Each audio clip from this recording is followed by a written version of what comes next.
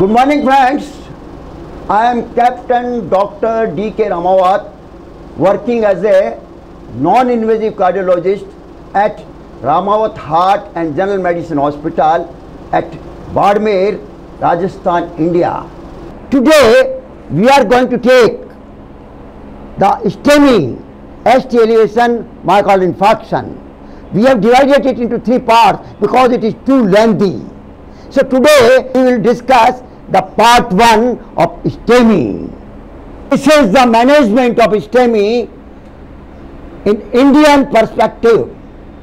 Regarding introduction of STEMI, I will have to tell you STEMI has rapidly evolved worldwide during the last two decades. India is second largest population country in the world with extreme diversity in terms of geography, race, culture, literacy, infrastructure and economy. All, and all these factors, all these factors combined with high volume of STEMI patients cause, causing serious challenges in management of STEMI. Now regarding epidemiology of STEM in India, cardiovascular diseases is the number one cause of death in India. 21% of death were in 2010. Out of this 10% death was due to coronary artery disease. Cardiovascular disease death rate is 272 per 1 lakh in Indian population. 30 million people in India have coronary artery disease. Mean age of occurrence of STEMI in India, Indian is 5 to 10 years lower than Western population. An Indian man is younger to Western man, reason being they have got risk factors like hypertension, high cholesterol, low HDL, diabetes, truncal obesity and genetic factors in their parents. STEMI constitutes one third of all acute coronary syndrome patients. Thrombolysis is used in 41% of STEMI patients. Primary PCI, percutaneous coronary intervention in STEMI is the gold is the gold standard of treatment. PCI in STEMI is the gold standard of treatment, but it is available to very small proportion of patients in India. Women who have STEMI are approximately 5 years older than men and also having morbidly high rate of previous MI. Medical therapy was similar in both groups. Women received more perfusion therapy than men. There was no gender difference in outcome of reinfarction, stroke, heart failure, cardiogenic shock and death. Now we will take the main thing, the diagnosis of STEMI and early risk stratification, challenges in the India.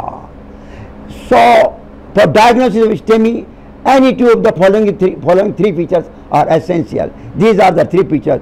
Number one, characteristic chest pain. The second, ECG changes. Third, elevated cardiac enzymes. So first we'll take the characteristic chest pain. It is advisable, advisable to obtain an ECG for everyone beyond 20 years of the age who are presenting to emergency department with acute pain anywhere from the jaw to umbilicus. Remember, pain can be anywhere from jaw to umbilicus in case of heart pain. Physician must recognize atypical presentation of STEMI. Forget not atypical presentation of STEMI. Also called angina equivalent. A question of DM cardiology the angina equivalent, dyspnea, diaphoresis, extreme fatigue, arrhythmia, dizziness, syncope and pain at the site other than chest. Forget not, pain at the site other than chest. For example, epigastric pain, jaw pain occurring in a patient at high cardiac risk. High cardiac risk means what? Diabetes, chronic kidney disease, hypertension, etc. Now, angina equivalent, I told you, a question of DM cardiology, are considered to be symptom of myocardial ischemia. There will be increased cardiac enzymes with ECG changes of ischemia.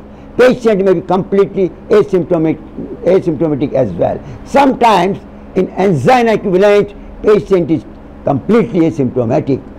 30% STEMI patients present with typical symptoms.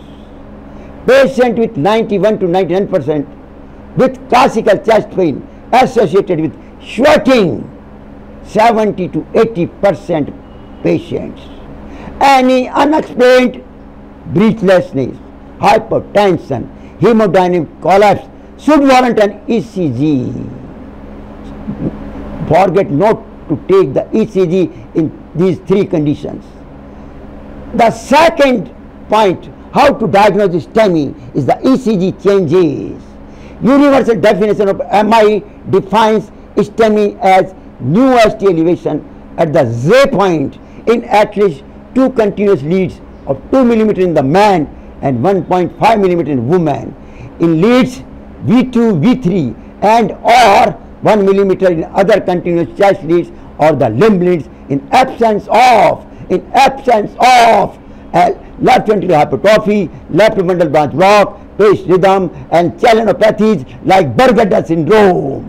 Now you know that right bundle branch block number 1 left anterior fascicular block 2, left posterior fascicular block 3. Do not interfere. Do not interfere with the interpretation of STEMI while other factors, these factors interfere. So, and also you must know the pace rhythm, left ventricular hypertrophy, left femoral branch block and channelopathies known as ion channel defect whether it is genetic or required like Brugada syndrome may obscure, may obscure typical changes in STEMI. So, we are running the ECG changes in STEMI infrequently, a very great point, very great point, infrequently STEMI may present without ST elevation we are talking of ST elevation but there is no elevation. Now what to do? What to do? Sometimes true transmural posterior MI present with ST depression in precordial leads along with positive T wave in lead V1. LAD occlusion may present as ST depression in multiple leads with ST elevation in AVR and V1 only. So, ST11 elevation in absence of STEMI may occur with acute chest pain in which can also ST elevation can also occur with the chest pain other than those previous we have other than STEMI. For example, pericarditis, Takotsubo early repolarization syndrome and vasospastic angina. You, you can see here the early repolarization syndrome. Here that ST has gone upward to the baseline. This is the baseline, but ST has gone upward.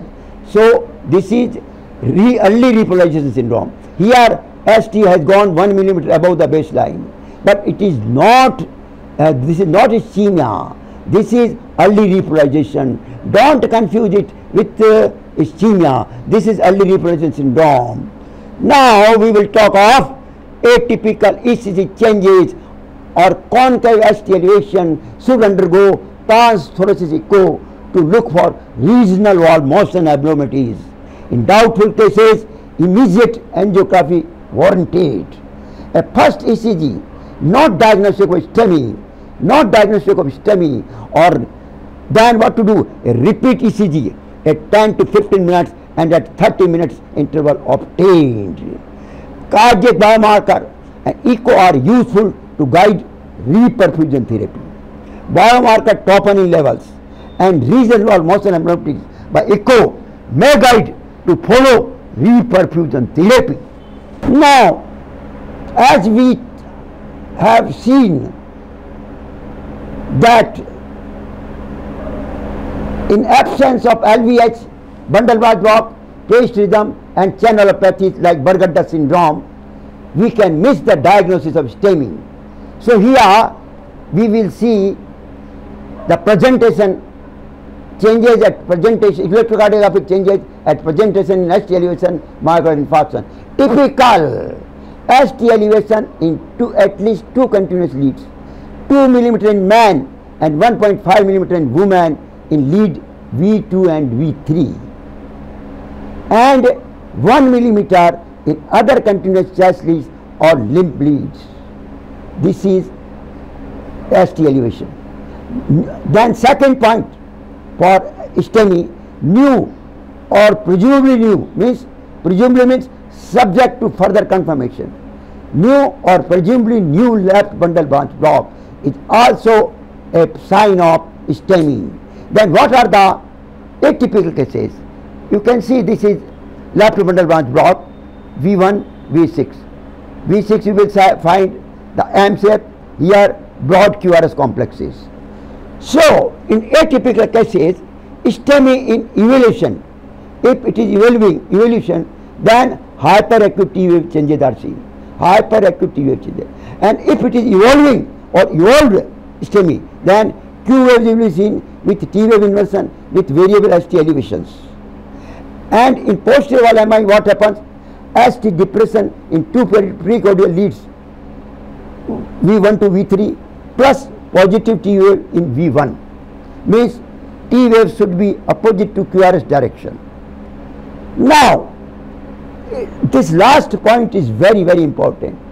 If you find left main or proximal proximal left anti-descending artery occlusion, in this case ST depression in multiple leads will be seen with ST elevation in leads AVR and V1 only.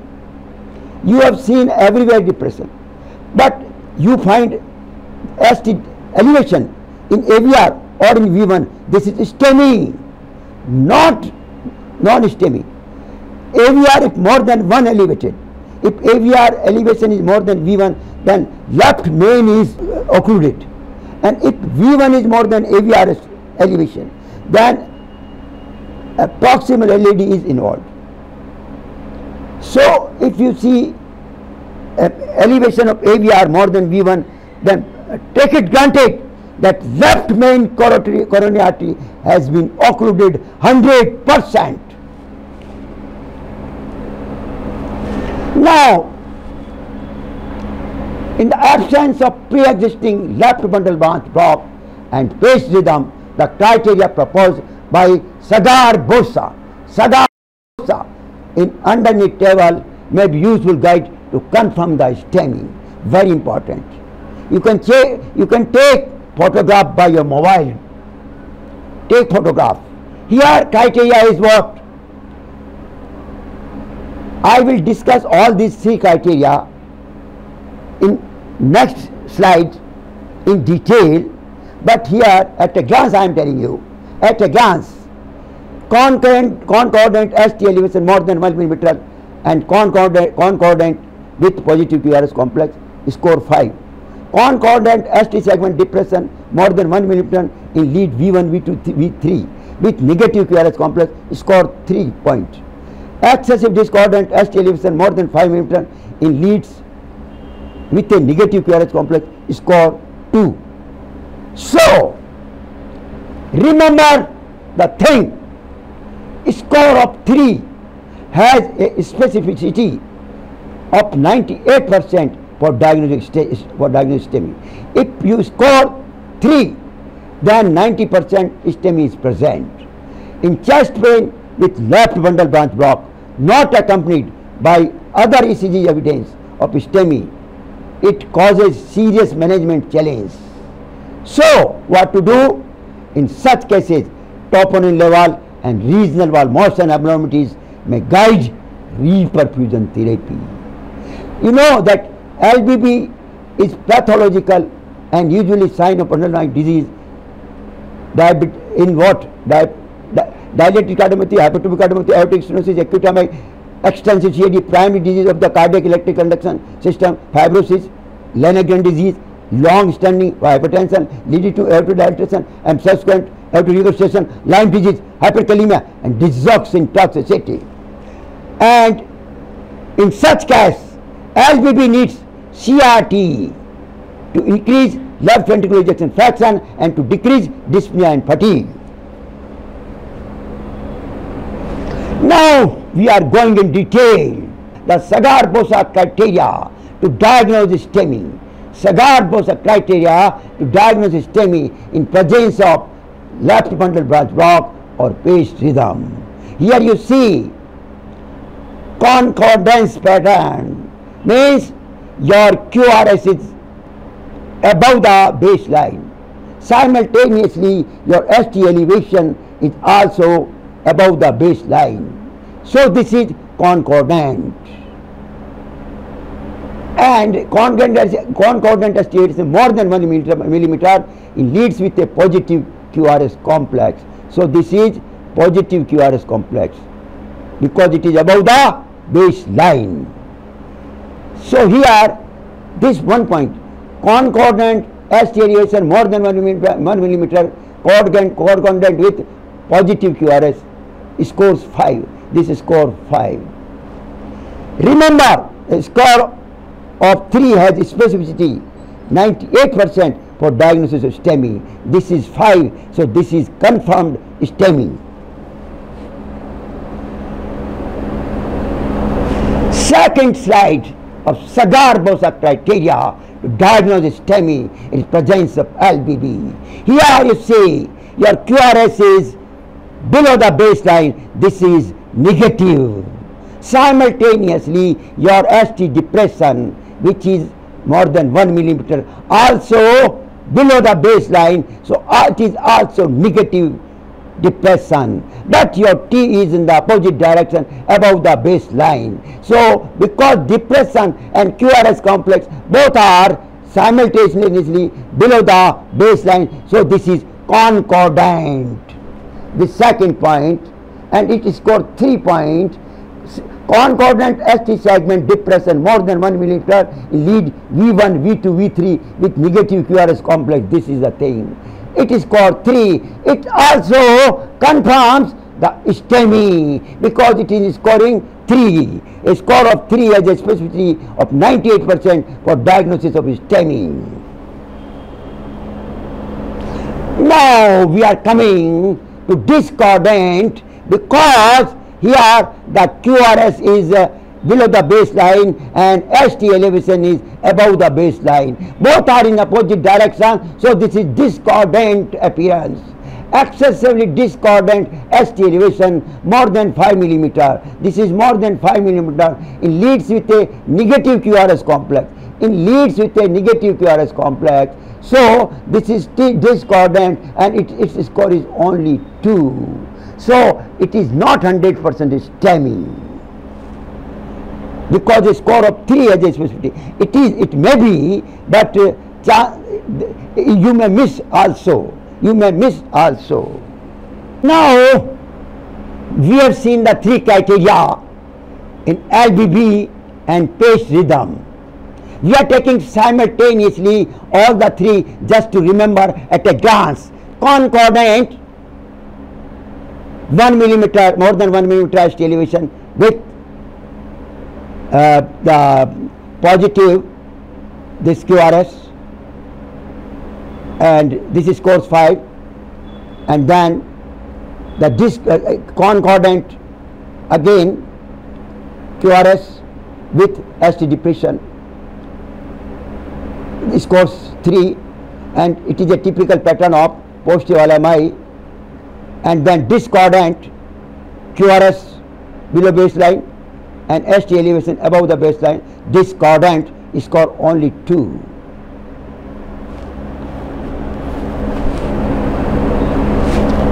Now at a glance we will watch or see the schematic diagram of some branches of coronary arteries. It is just for remembrance or you can say just we are revising the right coronary artery, the left coronary artery. This is the left main branch emerging from aorta. Now it has divided into two branches, left circumflex and left anterior descending. In left anti-descending, this is proximal part and this is the distal part of left anti-descending. Then you will see this is the first septal of anti-descending. Then this is second septal branch of left anti-descending. Then this is first diagonal of left, left anti-descending. This is second diagonal of left anti-descending. And the, if we go to circumflex, you will see that there is obtuse marginal in left circumflex proximal. And here this is left circumflex distal. And if we go to the right coronary artery, this is the conus branch of right coronary artery. Conus branch is supplies the region of anterior interventricular septum and the conus of the main pulmonary artery, hence its name. It supplies conus of the main pulmonary artery. Then proximal RCA, then right ventricular branch of RCA, then distal RCA this is, then posterior descending artery branch of RCA, then this is posterior left posterior left ventricular branch of RCA. So at a glance we have seen or we have watched the uh, branches of coronary arteries. Now, the site of coronary artery occlusion, the site of coronary artery occlusion in ST segment elevation myocardial infarction. I have shown here LAD occlusion where proximal to first septal and first diagonal. That LAD occlusion distal to first septal and proximal to first diagonal. Then LAD occlusion distal to first septal and first diagonal. Then distal LAD occlusion. Then RC occlusion. Then left circumflex artery occlusion. And then left main coronary occlusion. Most of the time physicians misses this point. Left main coronary because it is very serious matter and patient can die before reaching the hospital. So, you must see ST elevation in lead AVR. ST elevation in V1 is less than AVR in this condition, main. ST depression in lead second and AVR and ST, de ST depression in lead V3 to V6. Forget not, everywhere, everywhere there is depression except in V1 and sometimes except in AVR mainly AVR and sometimes in V1. You can take the photograph of this chart and can conclude where is the occlusion. Now, the third point to diagnose STEMI is elevated cardiac enzymes. Troponin T or I levels are the most specific and sensitive test for MI. The creatinine kinase ZAMB is less sensitive and specific especially in early phase of STEMI. High sensitive troponin values after 1 to 2 hours of symptom onset may guide reperfusion therapy and patients with presumably subject to further confirmation or new onset LLB, LBP. Presumably new onset LBB you can start reperfusion therapy if you find high sensitivity troponin, not normal troponin, high sensitivity troponin value after 1 to 2 hour of symptom onset. Then pace rhythm. In this case also, if high sensitivity troponin comes after 1 to 2 hour, then this is MI. Post CABG, then non-diagnosed ECG. If, you, if there, there is, you remember ECG can be normal in triple vessel disease also. So if it is non-diagnostic and you see the, the this uh, signs and symptom of STEMI, then you must go for the high sensitive troponin. Biomarkers need to be repeated when the diagnosis is uncertain. A negative troponin assay at 12 hours after symptom onset excludes at STEMI means there is no STEMI in that case. Now, the role of biomarker testing in ST elevation myocardial infarction. This is very important chart. You must take photograph by your mobile. Indication for troponin testing. Early troponin testing to guide reperfusion is what? Asymptomatic ECG changes, non-diagnostic ECG changes, presumably subject to further confirmation, new onset LBB without fulfilling STEMI criteria, paced rhythm, post CABG with non-diagnostic ST elevation. Second, quantitative serial troponin in all STEMI patients to estimate infarct size and prognosis. Serial troponin estimation should be done to estimate infarct size and prognosis. Troponin T or I levels are the most specific and sensitive tests. Never forget. Never forget. Collect blood sample at presentation. Often the biomarkers need to be repeated when the diagnosis system is uncertain. Negative troponin assay at 12 hours after symptom onset practically exclude, exclude STEMI. Know the limits and cutoffs of the assay used in your hospital that can be different than the outside lab on road. High sensitivity troponin assay enables very early diagnosis. High sensitivity, never forget, high sensitivity troponin assay enables very early diagnosis. A repeat our high sensitivity troponin assay may be ordered within 2 to 3 hours a rise or fall in troponin assay, a rise or fall which is a sign of STEMI, a rise or fall which is a sign of STEMI in serial troponin assay is more specific for an evolving ischemic injury of myocardium. CKMB testing may be done when troponin is not available in small PSCs or small clinics or in late presentation to estimate infarct size. Now, the three main things we have seen to diagnose the STEMI. But there are other points also how to diagnose STEMI. Number four point is echocardiography. Regional wall motion abnormalities appear early after coronary artery occlusion. Echo, we are going for echo now. echo can also identify mechanical complication of MI. For example, VSD, ventricular septal rupture with holosystolic that is pansystolic murmur with a thrill along left external border with left to right shunt causing pulmonary arterial hypertension. Then second, papillary muscle rupture with mitral regurgitation causing cardiogenic shock and pulmonary edema with a holosystolic that is pansystolic murmur, heart attacks, heart burst with diaphragm when patient is in left lateral decubitus position. Then third, free wall rupture, free wall rupture with severe retrosternal pain, dyspnea and sweating. Patient having systemic hypoperfusion and cardiogenic shock and require intra-aortic balloon pump as patient is in hemodynamic collapse. Pericardial patch over tear placed and glue technique is used.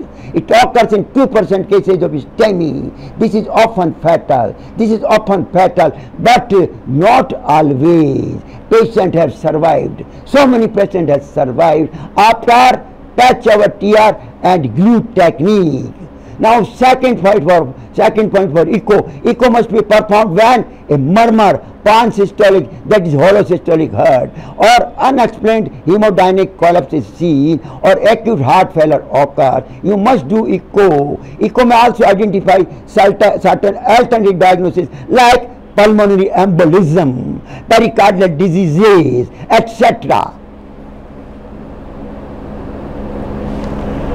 Now the physical examination also help to diagnose STEMI, to rule out alternative diagnosis by physical examination. Left ventricular hypertrophy with S4 is common accompaniment in diastolic dysfunction when the, the, the left ventricle is hypertrophied and rigid, then you listen the S4 which is pathologic. The hypertension basal crepitation and LVH which is much more rigid than previous one with S3 indicates poor prognosis because it is severe diastolic dysfunction of the left ventricle. A new systolic murmur usually indicates either mitral regurgitation or ventricular septal rupture. Then a case of aortic dissection, in case of aortic dissection, inequality in pulse is noted. Now, we should see early risk stratification.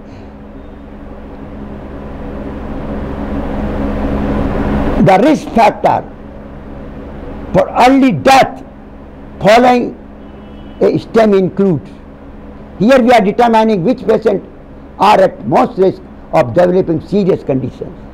So, the risk factor for early death following STEM include what? Advanced age more than 70, diabetes mellitus, smoking uh, states, and prior infarction and prior use of aspirin. Because if we take since long or if he's taking heavy dose more than the normal then he can die.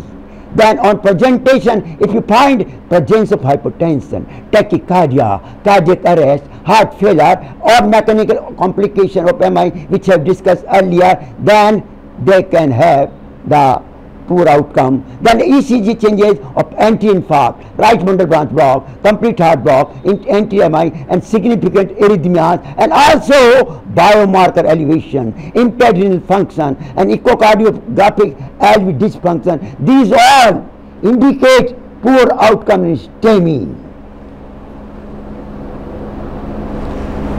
Now, the most important thing which I want to tell you the Killip classification of heart failure and cardiogenic shock must be documented in all patients with STEMI.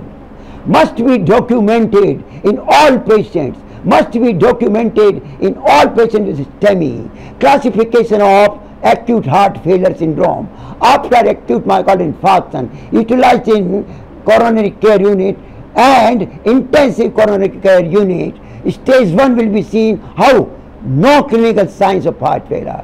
Stage 2, heart failure with rales S3 gallop and pulmonary venous hypertension. Stage 3, severe heart failure, frank pulmonary edema with rales throughout the lung fields. Stage 4, cardiogenic shock, hypertension, systolic BP less than 90, peripheral vasoconstriction means what? Oliguria, cyanosis, diaphoresis. You must remember in ICCU all these points, otherwise you will miss. In India, less than 50% of patients with STEMI have received thrombolysis or PC, or PCI. Lack of awareness among patients, relatives, paramedics and even doctors in a major factor for suboptimal acute care of STEM in India very important, less than 50% of patients with STEMI have received thrombolysis or PCI. Lack of awareness among patients, relative, paramedics and even doctors is a major factor for suboptimal acute care. They, they will not be able to care the STEM in India. Stuttering MI, stuttering MI, it is a point of question of DM cardiology. DM cardiology, MI caused by spontaneous coronary dissection creates confusion and difficulty in diagnosis. Then aborted MI, aborted MI, a question of DM cardiology, aborted MI creates confusion and difficulty in diagnosis when the reperfusion is done very early. When the reperfusion is done very early. Patients do not so rise in troponin and have transient ECG changes known as aborted MI.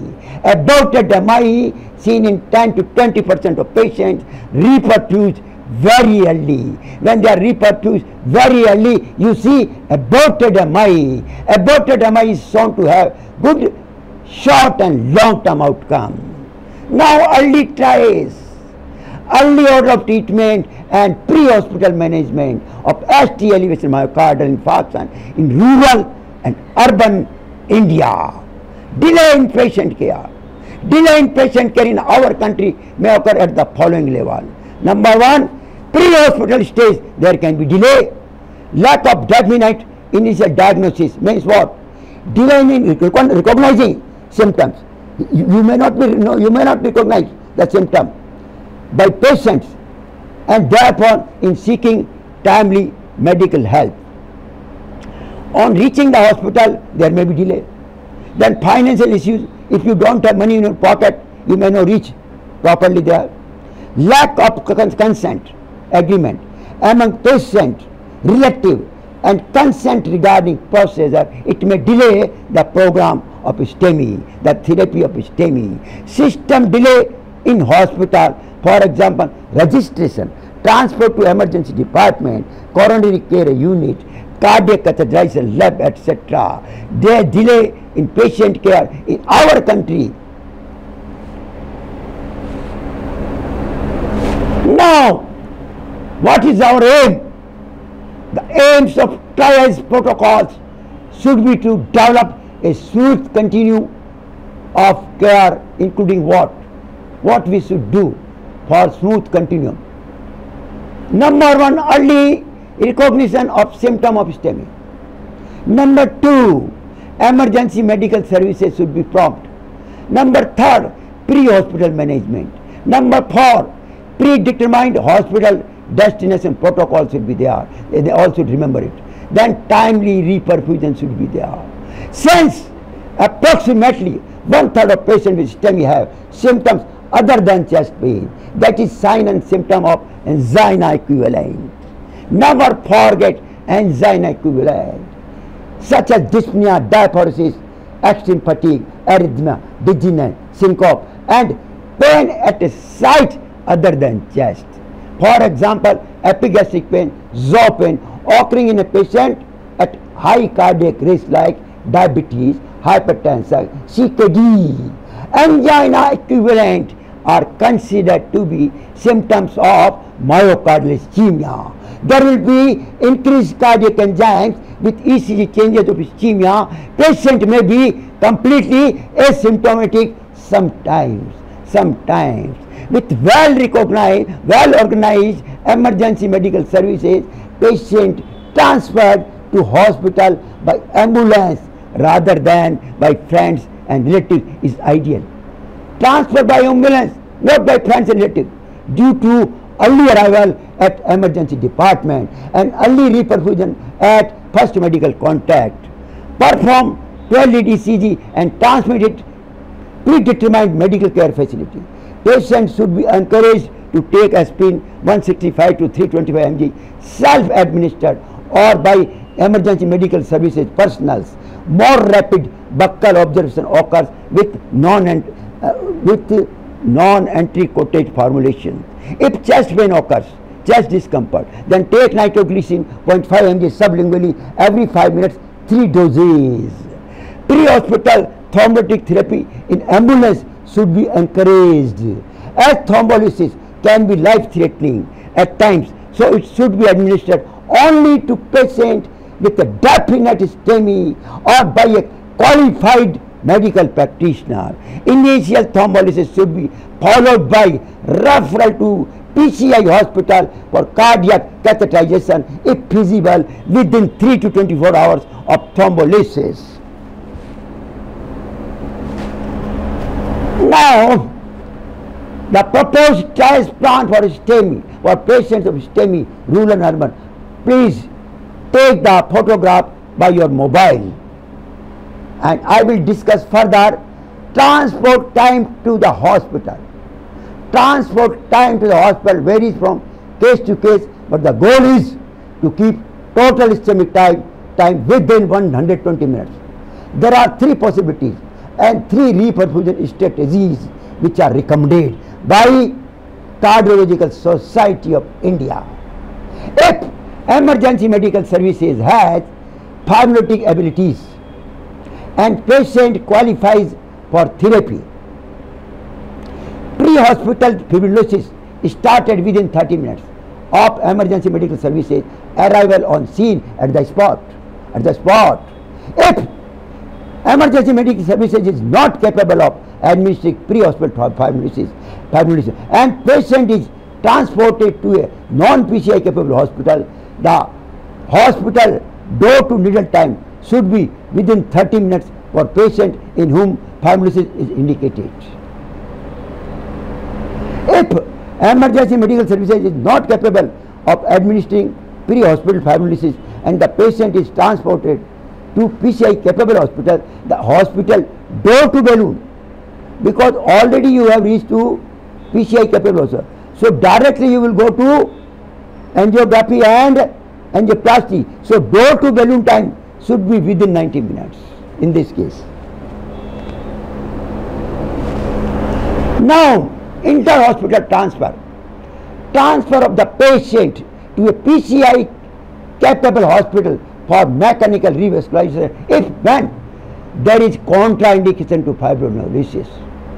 PCI can be initiated promptly within 90 minutes of the patient presented to initial receiving hospital or within 60 minutes compared to when fibrinolysis with a fibrin specific therapy agent could be initiated at the initial receiving hospital.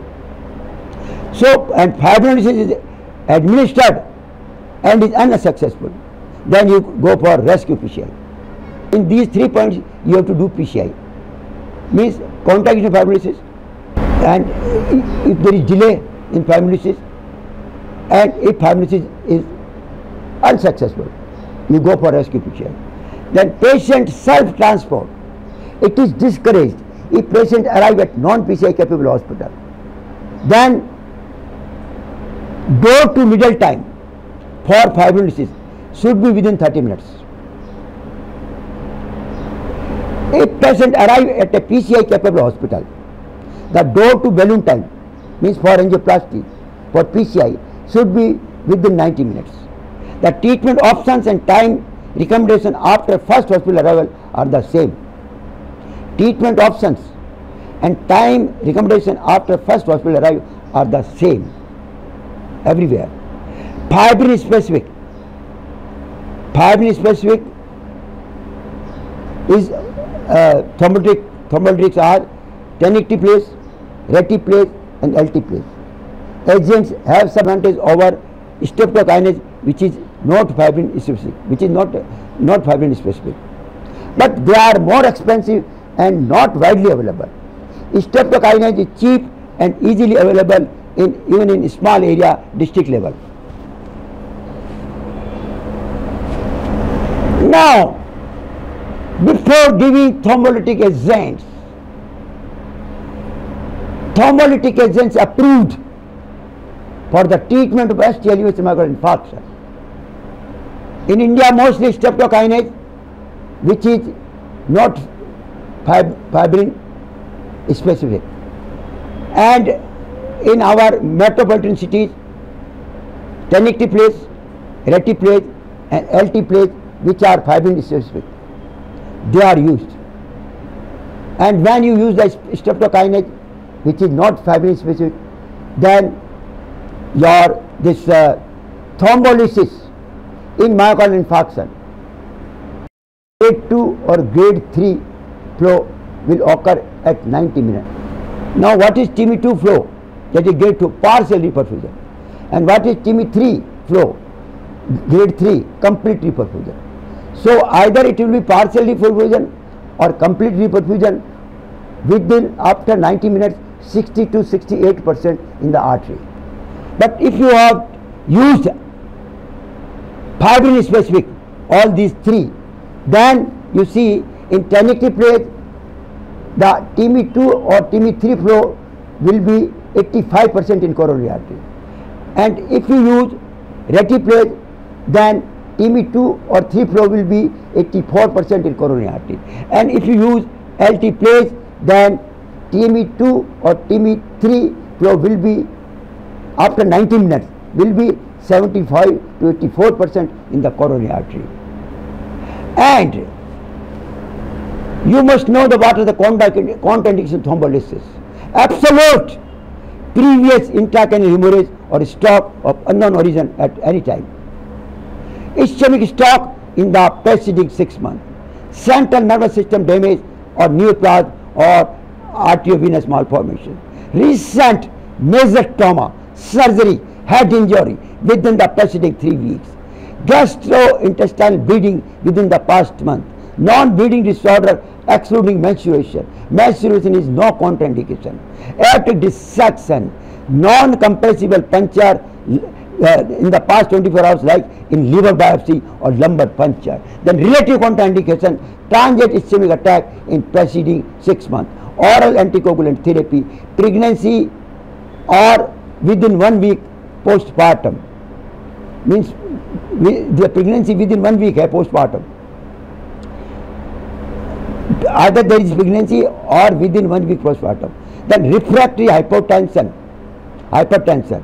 Refractory hypertension means systolic more than 80 and diastolic more than 100. Advanced liver diseases, infected endocarditis, acute active peptic ulcer cause hemorrhage. Prolonged or traumatic resuscitation can cause uh, difficulty. Now there is no contraindication in menstruation and acute ischemic stroke within 4.5 hours. Now this is the last slide which I am showing you of the part 1 STEMI ST elevation myocardial infarction this is the last slide benefit of thrombolysis in STEMI is not yet established in patients over 85 years of age so don't use reperfusion therapy by thrombolytic agents over 85 years of the age. Then if you have failed thrombolysis, means you have given family therapy but not throm thrombolysis did not occur, in which case persistent or worsening chest pain, it means thrombosis, thrombolysis is failed.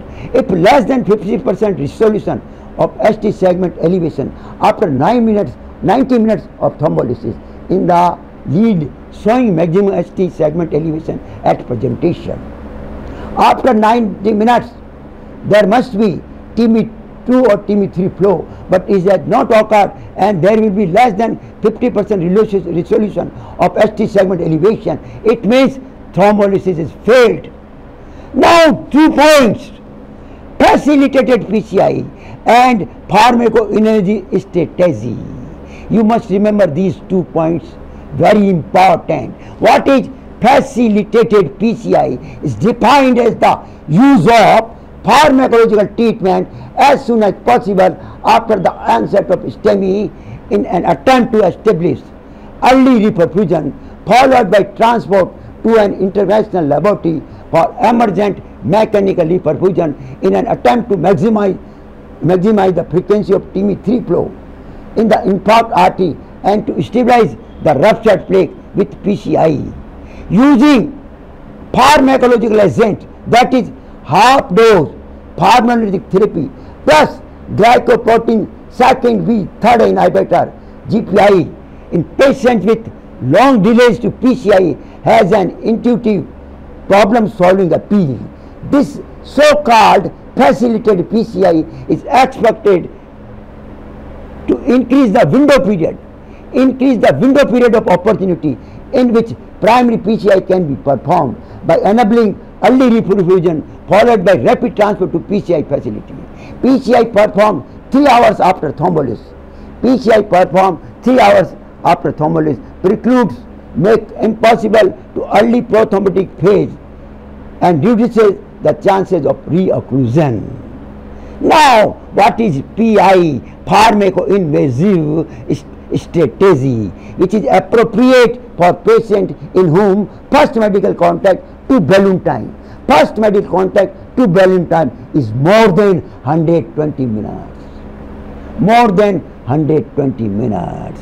Similar to facilitated PCI it is similar to facilitated PCI in the so called pharmaco-invasive strategy pharmacologic therapy combination of half dose reteplase and FCG map is given at non-PCI hospitals to establish reperfusion and is followed by transfer to a PCI facility for urgent PCI by reducing the dose of paralytic bleeding complications including intracranial hemorrhage could be reduced.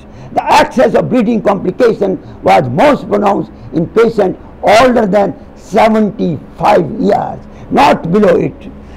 Now, last but not the least paragraph, last but not the least paragraph, a threefold increase in hospital death is reported when door to needle time exceeds 60 minutes and when door to balloon time exceeds 120 minutes. Never forget this line.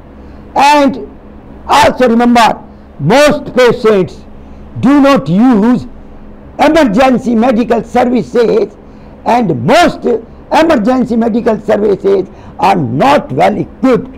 Hence, pre-hospital fibrinolysis, fibrinolysis still remains a, challenge in India. Thank you, thank you very much, my friends, for your kind attention. And uh, I will like to inform you that soon, after a few days, we will be taking part second of STEMI, ST elevation, myocardial infarction, part second. Thank you, thank you very much.